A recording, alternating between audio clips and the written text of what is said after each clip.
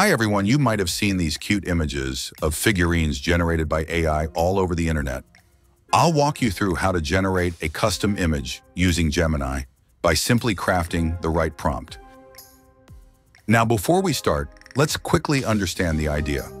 We're going to create a commercialized figurine in a realistic setting, complete with packaging and even a computer screen showing the modeling process. This type of prompt demonstrates how powerful image generation can be when you add precise details. All right, let's get started. Here I am on Gemini, ready to enter my prompt. I've typed out the prompt below in the description. You can copy and paste it in your Gemini AI's input space along with the actual image you want to transform. Notice how the prompt is structured. It's descriptive, specific, and covers multiple elements. This helps the AI understand exactly what you want. Now let's go ahead and generate the image. And here we have the result. Look closely. The figurine is right there on the desk, scaled as requested.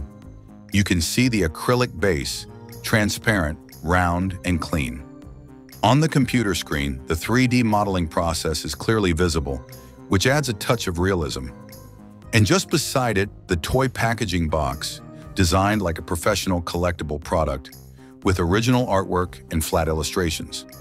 Everything we included in the prompt is reflected in the final image. This shows how you can guide Gemini step by step, and the more descriptive you are, the closer the output will be to your vision. That's it for this tutorial. If you enjoyed this, don't forget to like this video, share it with your friends, and subscribe. Looking forward to seeing all your amazing creations using AI.